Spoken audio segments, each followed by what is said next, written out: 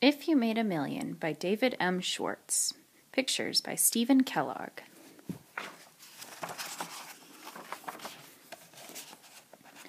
Congratulations! You've earned a penny. Feed the fish, earn one cent. It will buy anything that costs one cent. Dust this duck, earn five cents. Well done, you've made a nickel. One nickel is worth the same as five pennies. Please paint this pot purple, earn ten cents. Hooray! Now you have a dime. One dime has the same value as two nickels or ten pennies. Blow up this boa, earn 25 cents. Excellent. For your hard work, you've earned a quarter. One quarter is the same amount of money as five nickels, or two dimes and one nickel, or three di- nickels and one dime, or 25 pennies.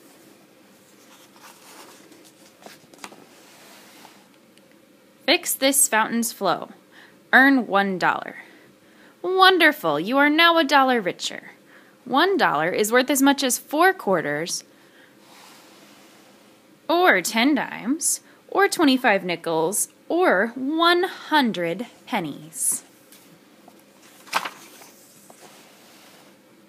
You could use your dollar to buy 100 pieces of penny candy, or 25 cent balloons, or 10 stickers for 10 cents each, or four rubber balls that cost 25 cents apiece.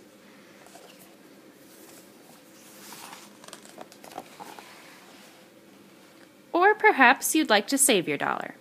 You could put it in the bank, and a year from now it will be worth a dollar and five cents. The bank wants to use your money, and it will pay you five cents to leave your dollar there for a year. The extra five cents is called interest. If you waited 10 years, your dollar would earn 64 cents in interest just from sitting in the bank. Are you interested in earning lots of interest? Wait 20 years and $1 will grow to $2.70.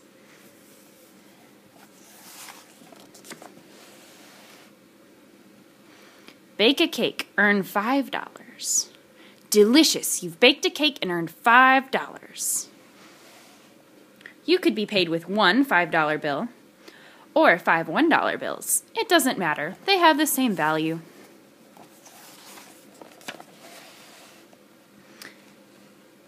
Mow the mare's meadow, earn $10. Stupendous, you've made $10. How would you like to be paid? One $10 bill, two $5 bills, ten $1 bills, or perhaps five or one five and five ones? Take your pick. They're all worth $10. If you prefer coins, you can have a five foot stack of pennies. That's 1,000 of them. Or a 15 inch stack of 200 nickels. You could also be paid with 100 dimes, which would stack up to just over 5 inches. Or you could receive your $10 as 3 and 1 4th inch pile of 40 quarters.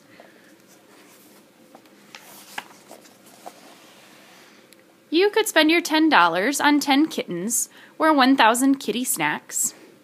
Or you could take your mom to the movies. But maybe you'd rather save your money. If you leave your $10 in the bank for 10 years, it will earn $6.40 in interest. Then you will have $16.40. If you leave it there for 50 years, your $10 will grow to $138.02.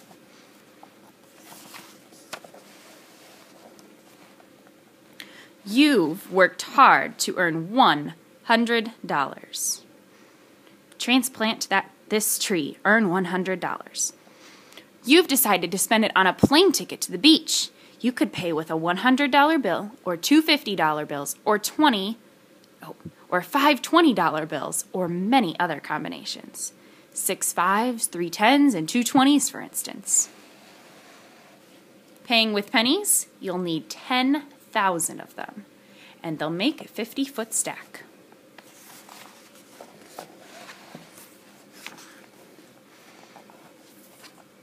You've worked long and hard and you've earned a $1,000. You're going to buy a pet. You could pay with coins or bills. If you don't like the idea of carrying a $1,000 around with you, you can put it in the bank and pay for the hippo with a check. The check tells your bank to give $1,000 to the person who sold you the hippo.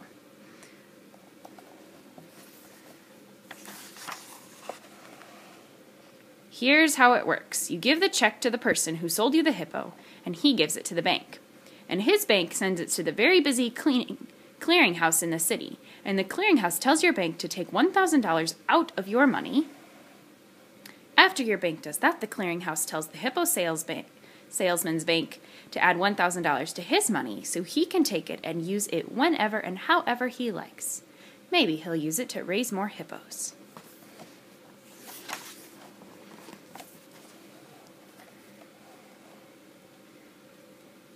If you used pennies to purchase a $10,000 Ferris wheel, someone might not be too happy about it.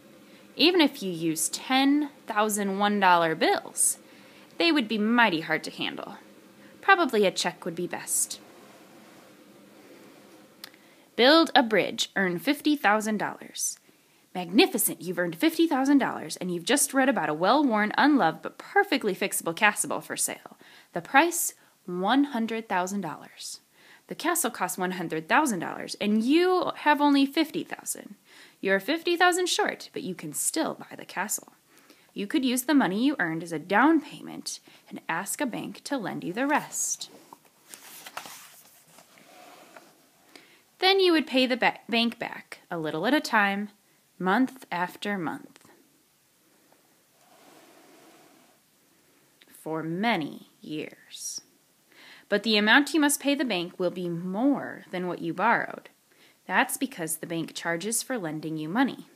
The extra money is called interest, just like the interest the bank pays to you when it uses your money. Now you are using the bank's money, so you must pay interest to the bank.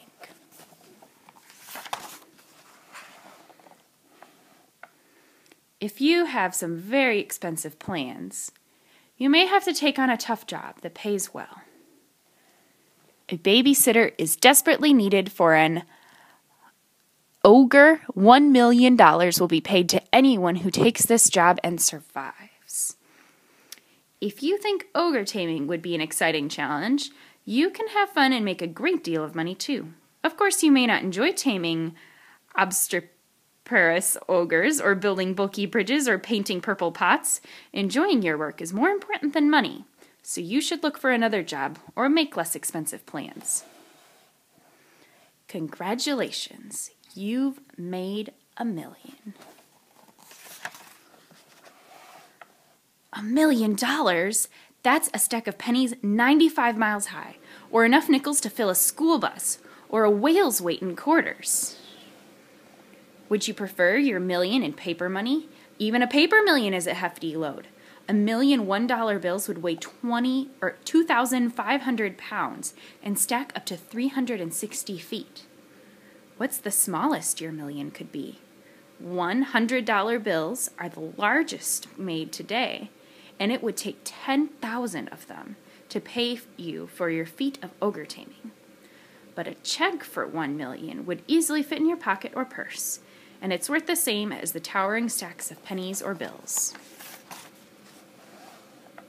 Now you can afford to buy tickets to the moon. Or you can purchase some real estate for endangered rhinoceroses. But if you'd rather save your million than spend it, you could put it in the bank where it would earn interest. The interest on a million is about $1,000 a week, or $143 a day, or $6 an hour, or 10 cents a minute, just from sitting in the bank. If you keep your million, you can probably live on the interest without doing any more work for the rest of your life. You might like that, or you could find it rather dull. Making money means making choices. So, what would you do if you made a million?